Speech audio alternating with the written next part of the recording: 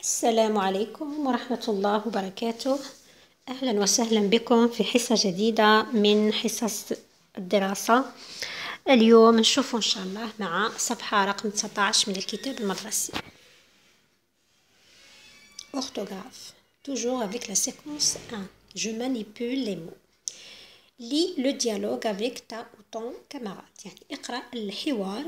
الديالوج هو الحوار مع زميلك أو زميلتك.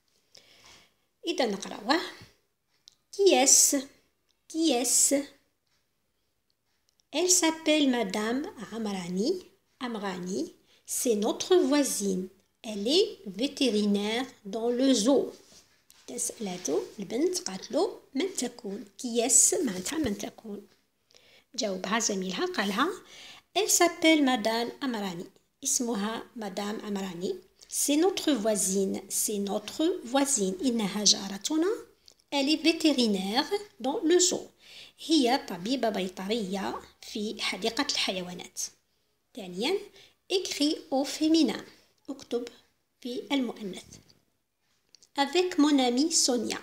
معناتها امي هاد الكلمات اللي راهم entre parenthèses هما اللي نحولوهم إلى المؤنث avec mon amie Sonia.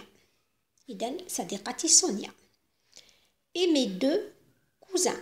إذا كوزا هنا راها في الماسكولين نحولوها للفيمينا nous nous promenons ensemble dans le parc. بعد نشوفوا الإجابة في الصفحة الموالية troisièmement lis le texte suivant puis classe les adjectifs de couleur dans le tableau.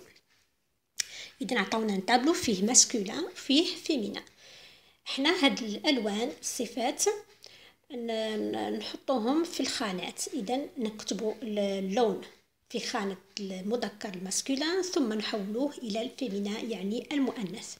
واش عندنا؟ عطاونا المثال الأول. عطاونا noir في ال masculin sans e في ال féminin. ضفنا لها le e اللي هي علامة ال féminin أي المؤنث. عندنا لا كولور روز مارون فير بلو غري بلون نوار روج أوزو. يعني اوزو يعني في حديقة الحيوانات Les élèves trouvent le flamant rose et l'ours brun.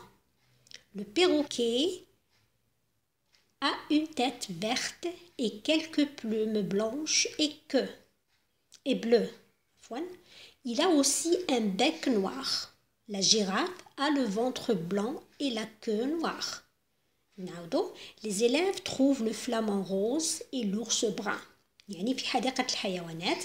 ال flamant هو نوع من الطيور اللي راه باين باللون الوردي rose. et l'ours brun يعني الدب الأسمر. le perroquet الببغاء a une tête verte et plumes blanches et bleues. عنده رأسه خضراء الببغاء وبعد الريش الأبيض والأزرق. Il a aussi un وعنده أيضا منقار أسود. La girafe a le ventre blanc et la queue noire. الزرافة عندها البطن أبيض والذيل أسود. رابعا complète par l'adjectif de couleur. قال لك املأ بصفة اللون يعني اللون يقدر يكون صفة إذا عندنا blanc blanche vert verte rouge إذا نشوفوا الأولى الورقة une feuille كيفاش راه اللون تاعها نختار واحدة من هاد الصفات ثانيا une fleur Troisièmement, une feuille, un pantalon, un stylo, un cartable. وفي الأخير طلبوا منك avec ta ou ton camarade décrit يعني مع زميلك ولا زميلتك أوصف décrit معناتها أوصف les couleurs de ton animal préféré أوصف ألوان حيوانك المفضل votez pour le meilleur pour la meilleure description ديسكريبسيون اذا حنا هذا النشاط راح نقوموا به في القسم مع المعلمة تاعكم وتختاروا أو تتكلموا وتوصفوا ألوان الحيوان تاعك المفضل تفضله ثم رايحين تصوتوا على أحسن وصف. اذا هذا فيما يخص الورقة نشوفوا دركا مع الحل اذا بالنسبة لل deuxième écris au féminin اكتب في المؤنث avec mon ami amie نزيدوا le e e هي علامة التأنيث في الفرنسية. mon amie Sonia mes cousins اذا cousins هنايا نضيفو ال e قبل ال s cousin ذكر cousine انثى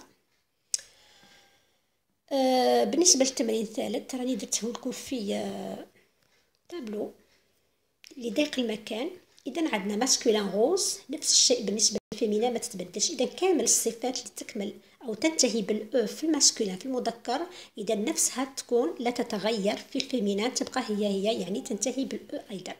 عندك كلمة marron marron ce mot ou bien un adjectif invariable. واش معناتها invariable يعني لا يتغير سواء كان في المذكر أو في المؤنث يحفظ يحتفظ بال بالكتاب الحروف تاعه كما هي اذا لا يتغير. marron نقولوا marron بالنسبة للمذكر masculin وأيضا marron بالنسبة للمؤنث يعني ال féminin vert نزيدوا le e باش ترجع féminin verte bleu نفس الشيء نزيدوا le e gris gris في ال féminin نزيدو le e اذا كيما قلت لكم ال e بالنسبة للصفات هي علامه التانيث blanc هنا راح تتبدل تتغير blanc ترجع blanche في ال féminin rouge تنتهي بال e اذا نفسها بالنسبة لل masculin ou bien le féminin وأيضا بالنسبة لكلمه jaune jaune بالنسبة للمذكر jaune نفسها لا تتغير في ال féminin وبهذا ننتهي بالتوفيق ان شاء الله والسلام عليكم ورحمه الله وبركاته